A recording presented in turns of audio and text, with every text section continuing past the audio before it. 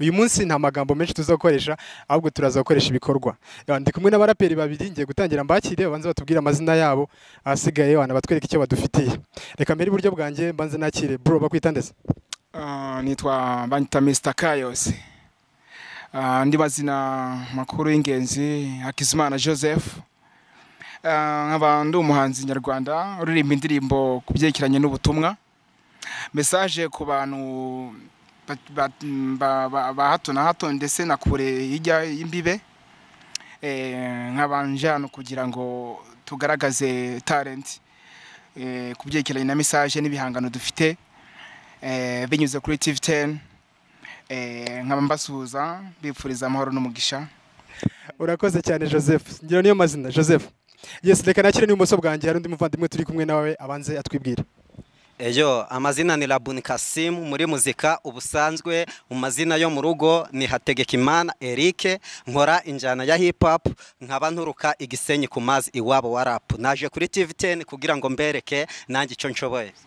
Yo mfite icyizere yuko nanjye nzagerayo abanca intego abo nzabanza mbegezeyo reka gupinga. Banza wumvira pu. Ese abageze bose niye kata bakoresheje? Bandusha hiti ntibandusha rap. Bandusha mane ntibandusha baza abenshi murabizi bapfuye mu bakungu. Imihanda rero yanje amaniga murabizi. Nirirwa mu gatigito sinkotwa muri game akindi mbashaka mbashaka studio. Twora cyane poromi kabura nka powes wakwereka agahinda kari ku mutima wanje. Mpora nibaza iherezo ry'uru rugendo. Nkarira umutima wanje ukuzura intima urebe ukuntu abeshwa tudweze down yo nyita fair kuko mfite rap muri mind niba ugira ngo ndabesha uzabaze muri hutu nduguwa na rwana nduguwa na cenjana hehe Never disrespect me, I'm fine man. Elast my, last man never kill another man. Alright, Seskia. yes yes yes yes bamwita joseph reka mbanze nuve na rabuni nawe ikintu adufitiye kuri no munsi wa none Okay, mbere ya byose nje mbanza gusuhuza. Ejo ejo muraho neza. Asalamu alaikum, mambo vipi? Kama kawalabu ni Kasimu, mimi ndiye swaga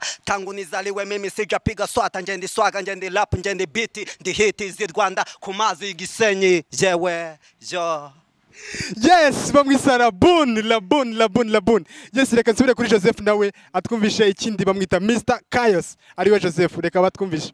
Iravuga uru rukundo mama rutumye ndira yeah. Ubukene bambe butumye usiga iyo ibintu ntibishakwa genda uzabumbwira yo mama yo yo yo mama yo. Yo yo mama yo yo. Genda yeah burya amarira y'umugabo atemba ajya mu nda. Misi n'amajoro nshaka ibyishimo byawe. N'ubutunzi wabuze ukabuhisemo kunsiga mfite impamvu y'igihumbi gizatuma nkwanga. Amarangamutima kanganjye ngahisha mu nda. Wasize mu cyobo. Wangaraguje agati nisegura amarira njye niyorosa agahinda. Ubwo agahinda ibiseho wasize ku mutima. Kumbuka yirese kumena iwacu kubw'urukundo imana yakunze abari mu isi niko nagukunze. Ukimara kugenda wagiye untwaye byinshi. Siyasikiya sawuti mr kayos yes bamwita mr kayos reka twongere twumve Labun nawe ikintu adufitiye. Song ya kabiri Labun twagiye Okay, iyi ndirimbo ye umusaza yayumva, umwana yayumva, umuntu mukuru yayumva. Ejo ni nziza cyane nshaka kuzamura mu Rwanda mwese mukayumva. Nje nakabije inzozi inzozi ziba impamo. Kuvukira mu Rwanda ni kimwe mu bintera ishema. Rwanda rwa gihanga rwahanzwe na rwema. Nanjye mwana wawe reka reka sinzahwema kuvuga ibyiza byawe mbikwirakwiza imahanga. Burya Rwanda uri umuhanga. Ibuka igihumbi kimwe magana icyenda mirongo icyenda na kane ubwo byari bikaze cyane umwaka mubi w'agahinda w'amarira umwe waranzwe n'amahane. Abanga varidanje utaka ikibaruka ingimbi rwanda mwicura burindi. Nawe yumvishaga ko igihe kizagera sa kindi byari kindi. None ngwino urebe mu rwanda turatuje turatuye turatunze n'amata turanywa selabuni kasim baby.